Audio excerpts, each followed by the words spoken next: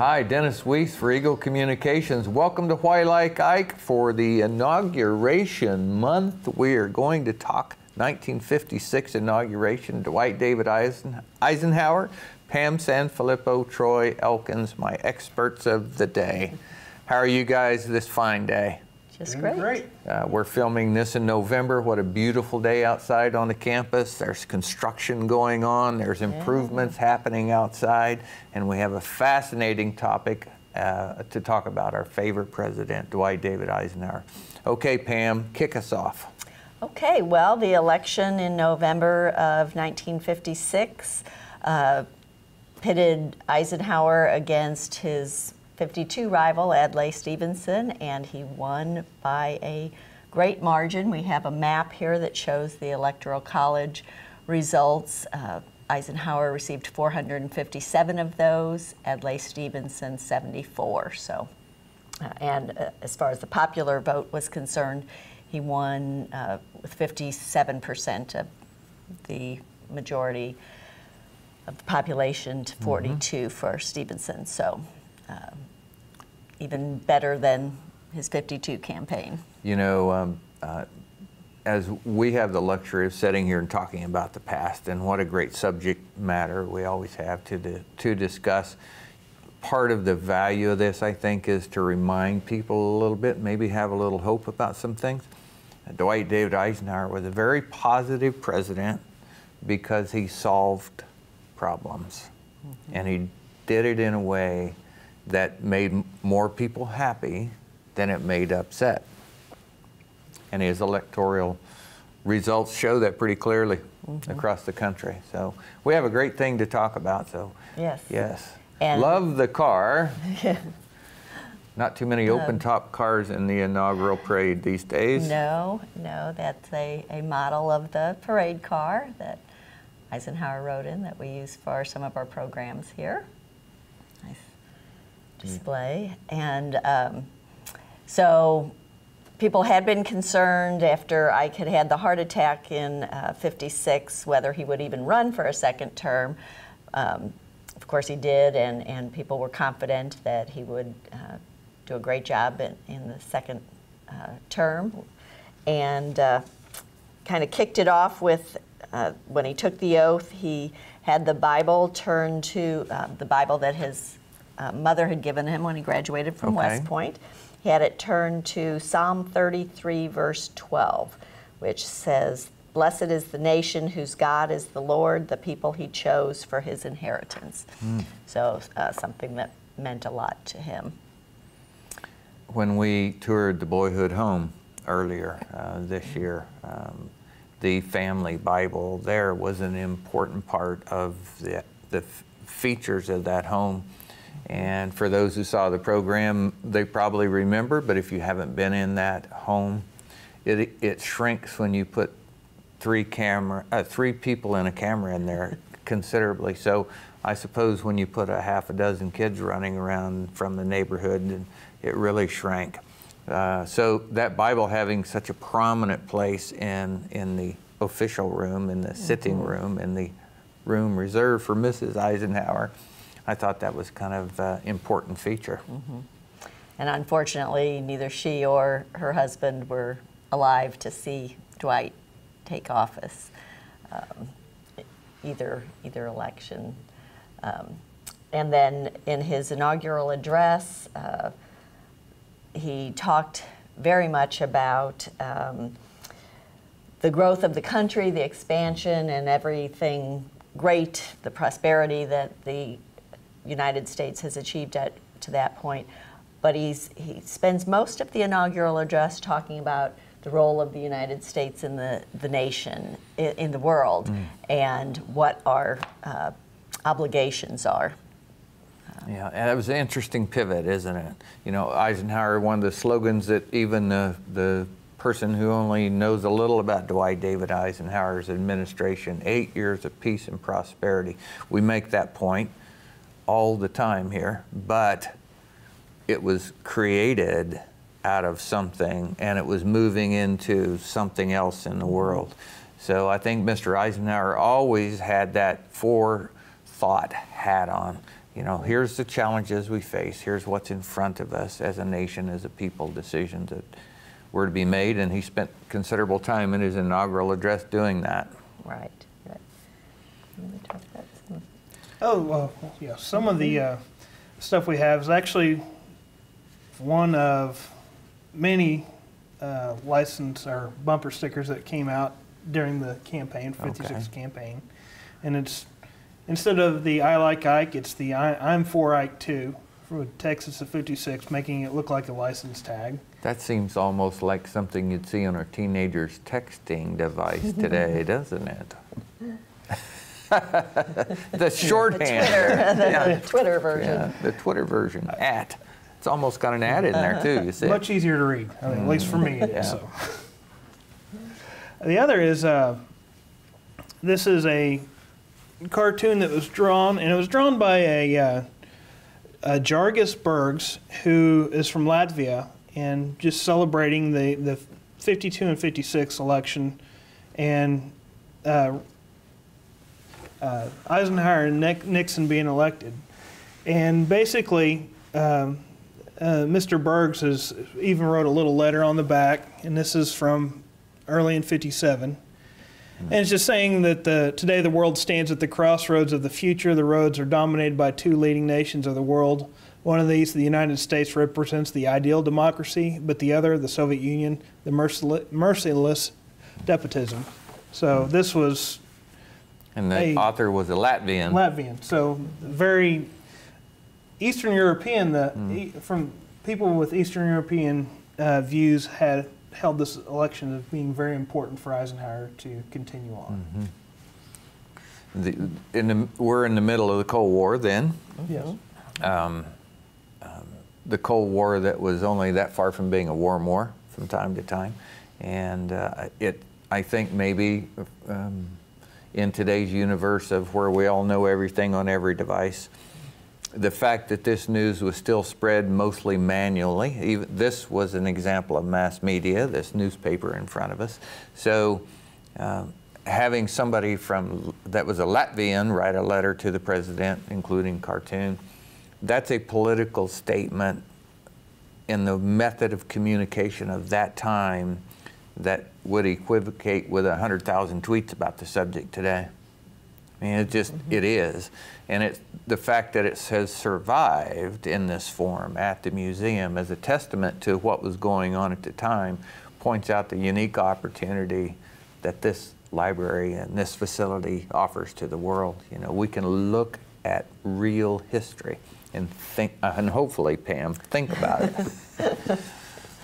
Right, and and you're right. The the newspapers of the time um, were all praising Eisenhower, um, and that's probably why the people reelected him. They wanted him to continue the policies that he had started during his first term, in order to keep that Cold War cold and maybe bring uh, peace throughout the world.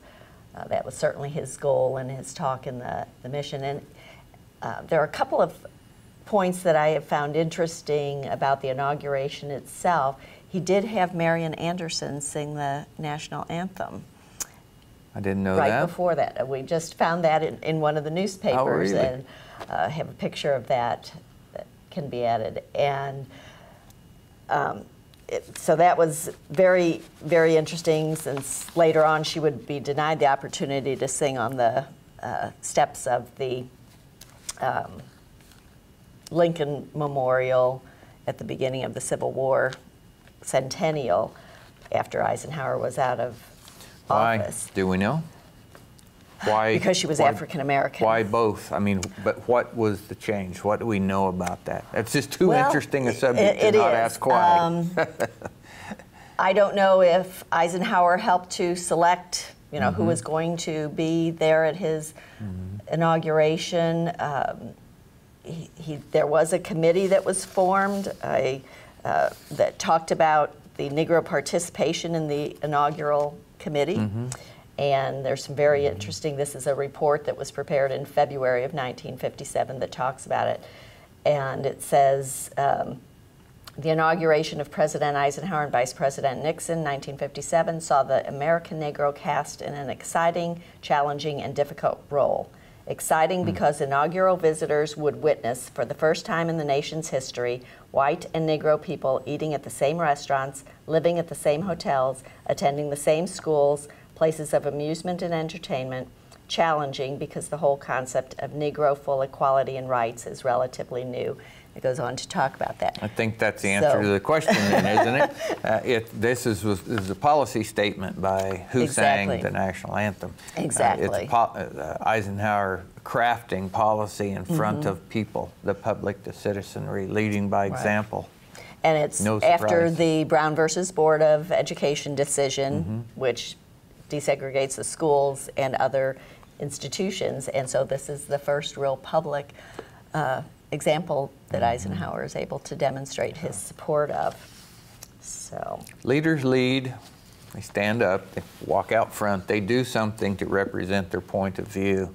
And uh, Eisenhower is the best example of that. That we we need look no further uh, in the presidential line to find a guy who who who made decisions uh, and led by example. Great story. Tremendous story. and, and the papers are just full of all of these pictorials of Eisenhower's career and uh, the people there, and the excitement. They talk about how it was cloudy that morning and rainy, and then the clouds broke through as he was giving his inaugural address. Uh, certainly gives that, that visual, uh, that what is to uh, what it portends for the future of the country. Well, I was born in 1957, so you know Eisenhower is my birth president. Uh, I was born in August of that, that 57 year, so uh, that that's an interesting thing to me to me to connect my old life. I feel old most days. Um, the length of my life is coterminous with, with Eisenhower's political life. And uh, the influence that he had on our nation as a person, as our leader, has been tremendous. Uh, I think of one of the first two or three times I had Karl Weissenbach on camera and we're talking about it, and he was talking about the researchers who come here. You know, the numbers of people who come here to write books, to study, and and we were we were in his office shooting something in there, and maybe it was before the camera came on, I think it was, and and uh, Tim Rives came in. He said, uh, "I've got to go pull some papers for the administration." And I foolishly said to Karl, "What administration?" He said, "The president's administration." so you know how relevant uh, Eisenhower still is today.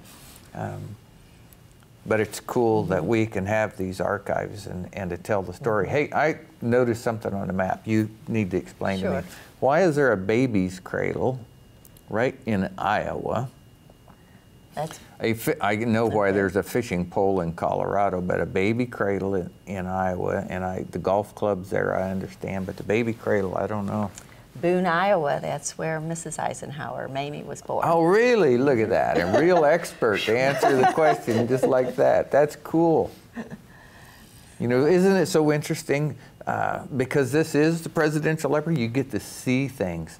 Now, we get to see them right here in front of us, but you know, these, these archive displays that are rotated all the time are so people can see things and go, I wonder why that is. And, and I suppose if you don't have Pam Sanfilippo, you'd have to Google it, but pretty cool answer.